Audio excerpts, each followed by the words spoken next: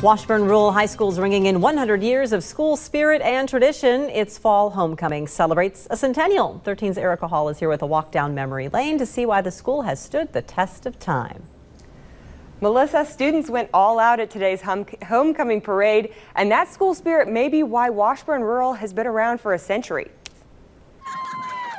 This is the sound of 100 years of school spirit and tradition. There are schools that you can go to that you work in, um, and then there are schools that you go to where you become part of a community and you become part of the traditions. Um, I'd say that it's pretty great, like how far we've all come and the spirit that our school has.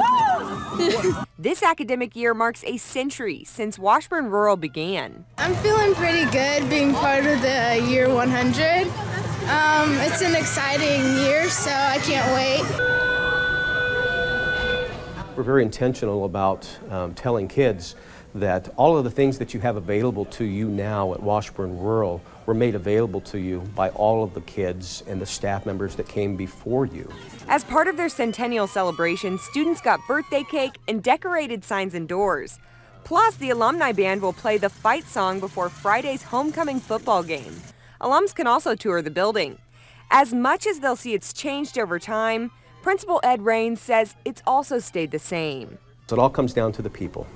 Um, and if you have great people who care about kids um, and who are willing to you know, toil on their behalf, um, you're going to have excellence. Which Rains expects will continue another century.